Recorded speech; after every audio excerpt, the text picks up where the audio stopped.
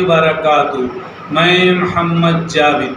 सच की आवाज़ N P S news देखिए आज की ताज़ा खबर। साफ़ करा रहे। पत्थर था पूरा। पत्थर था, इसलिए साफ़ कर। कोई भी रात को आ रही, बारह बजे आ रही कभी रात रात को मैं नहरे वक्त में आके जो है ना लोग वीडियो बना के मीडिया में डालते रहे। तो कोई मिले आपसे? कोई भी नहीं मिला मेरे को अभी तक कोई नहीं मिला। मैं आपको इसलिए तो शिकायत कर आपसे तो मैं कर रहा हूँ मैं इसलिए कि आप इधर के जिम्मेदार हैं।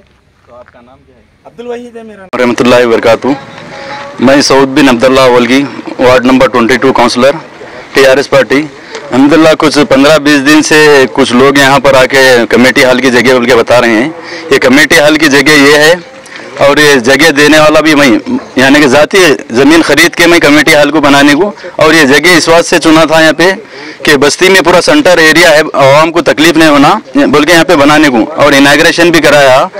वो नहीं बनने की वजह हुआ है कि 2013 में जो गवर्नमेंट चेंज हो गई, जो मैडम थे, उसके बाद में मैडम एमएलए नहीं बने यहाँ पे। वो बजट कैंसिल होने से मैडम से बार बार नुमाइंदगी कर रहा हूँ मैं कि यहाँ पे कमेटी हाल के वास्ते इंशाल्लाह कुछ थोड़े दिनों में कुछ बजट लगा के यहाँ पे कमेटी बनाऊँगा और कुछ मीडिया वाले अपने आप को कुछ ऐसे यानी धमकी दे रहे हैं कि मैं कुछ चौबीस घंटे में आप एमआरओ को ला के आप यहाँ पे कौन है मीडिया वाले, मैं तो नंबर तो नहीं मानूँ। इंशाल्लाह उनको भी निकालता हूँ, कंप्लेंट दूँगा बराबर।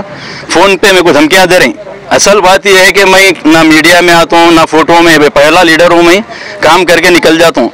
फ़ोटो वोटो बहुत कम लेता हूँ, शायद यहाँ के पूरी बस्ती वालों को मालूम हो रही है जो जगह है, आवाम को जाने के लिए यहाँ पे मतलब पहाड़ था। ये रोड से वो रोड पे आदमी नहीं दिखता था। सुबह में पहले मैं ये आके यहाँ पे पहाड़ फोड़ा। पहाड़ फोड़ के आदमी यहाँ पे गली में पहले डेनिस लाइन दलाया फिर कमेटी हाल को जगह लिया। और फिर से ये बात बता रहा हूँ जो मेरे को धमकी जो दे रहे हैं चौबीस घंटे में आप बोल के। अलहमदिल्ला मैं भी कोई सियासती बात बोल के नहीं सऊद बिन अब्दुल्ला अवल की बोलते मेरे को। अगर ये पोस्ट के ज़रिए तुम डरा रहे हैं तो पोस्ट को रीजन दे के तुम्हारा क्या करना है बराबर करके बताता हूँ बस यही बोलना है मेरे को। जो आपको कॉल करे वो मीडिया वाले बोल के मीडिया वाले बोल के बता रहे हूँ तो कि मैं मैं से? नहीं करा मैं तहकीक तो कल करा रात में करा तो मालूम हुआ कि कोई मीडिया रिकॉर्डिंग में नहीं रखता हूँ। बहरहाल अच्छे उसमें अंदाज में समझ वो कर रहे हैं मेरे को डरा रही हूँ तो मैं बोला चलो भाई मैं कुछ गैर गलत बोल दूँगा बल्कि वो क्या करते मीडिया वाले? ये चीज़ों को पकड़ते हमारे अच्छा है नहीं पकड़ के कुछ जर्रा कुछ भी हम मुँह से बोलते वो चीज़ों को पकड़ के डाल देते। बस यही है। सौद भाई आप सबका में वार्ड मेंबर थे उस टाइम पे संगे बुनियाद लगा है कमेटी बराबर। रुकने की वजह और एक चीज़ संगे बुनियाद बोल रहे हैं आप वादी मुस्तफ़ा में जो गवर्नमेंट स्कूल है वो भी जगह मैं मेरे खुद से वो भी जगह खरीद के दिया है जो आज कई बच्चे वहाँ पर पढ़ के तालीम हासिल कर रहे हैं। और जो अंडरग्राउंड सबको भी दिया क्यों बोले तो ये बस्ती में तकलीफ़ बहुत थी। कोई मेरे काम तकरीबन ऐसी थे नहीं तो हमारे घर पानी के टैंकरा मंगाया जाता था वो तो ये सम आने से हमारी बस्ती के आवाम को क्या हो गया? पानी से बनने से राहत मिली थी। आज हमदुल्ला इतनी बड़ी टाकी बनी हुई है, आज हमारे मीठे पानी, जो हमारे वादी मुस्तफ़ा से शाहीन नगर, पहाड़ी शरीफ, यहाँ जाता। बहरहाल लोग को मैं अच्छे काम करते हुए नहीं देख सक रही। मैं फिर से बता रहा हूँ, मैं मीडिया में बहुत कम आता हूँ, पहला लीडर हूँ बहुत कम आता हूँ। और फिर से हमदुल्ला को हैं मालूम को हैं अलीमुद्दीन कोई है बल्कि।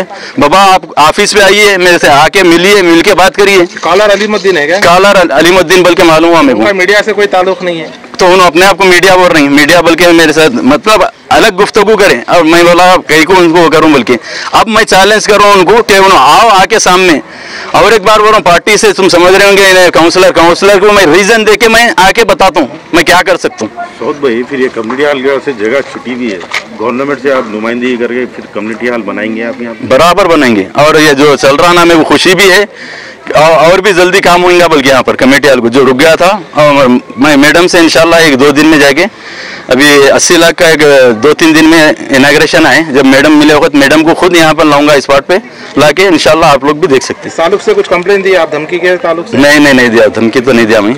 मैं छोड़ता हूँ एक बार एक दो तीनों को ढील छोड़ता हूँ मैं। कहीं को हर चीज़ खुल के बोलता हूँ अगर बोला तो। सुनिए। ठीक।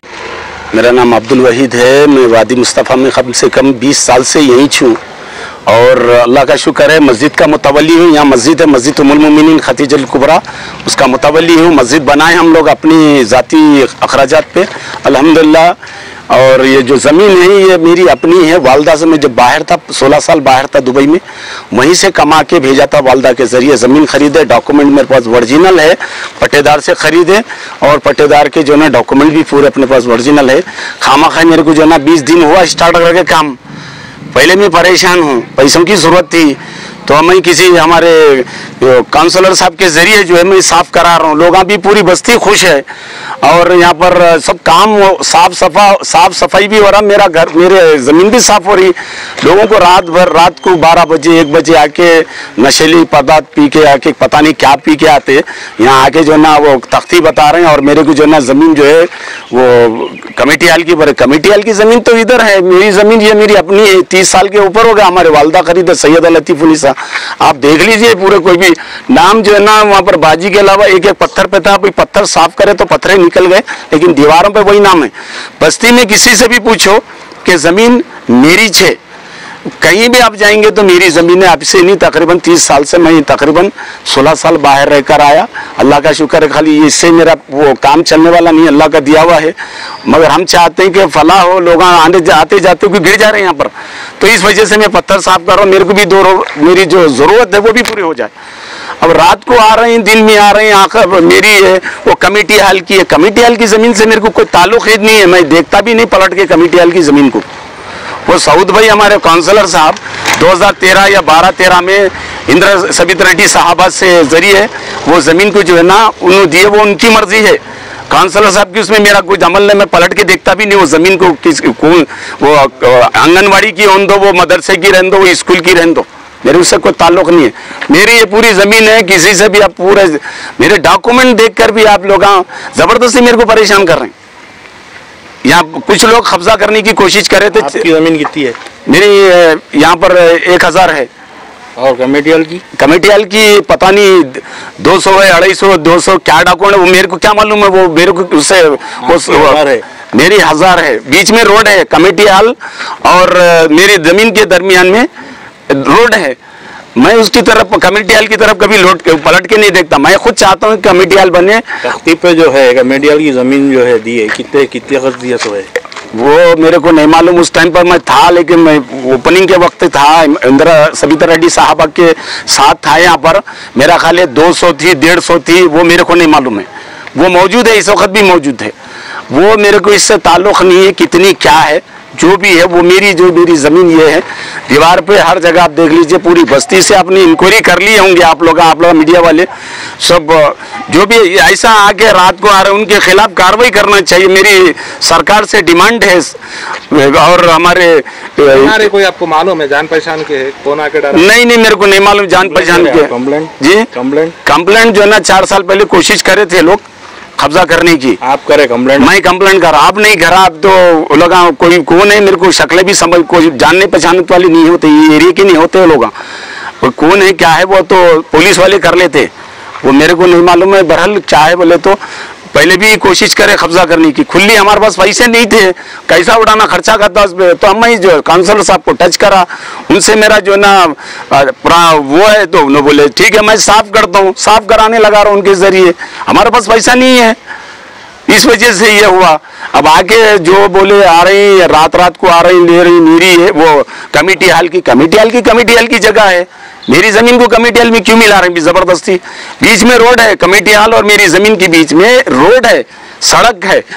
नक्शे के हिसाब से पुराने आप कोई भी देख लो। यानी आके जो आप लोग तहकीक कर ली अभी। वो जो भी आए, जो भी काम कर रही है, जो मैं सरकार से और वज़ीर दाखिला साहब से के टी आर साहब से के सी आर साहब से अदबन गुजारिश करता हूँ। जी डी यानी अपने डायरेक्टर साहब, पुलिस डायरेक्टर से गुजारिश करता हूँ कि ऐसे लोगों पर सख्त से सख्त कार्रवाई की जाए। क्योंकि मैं जो है मेरे को ज़बरदस्ती सता रहे मेरे को।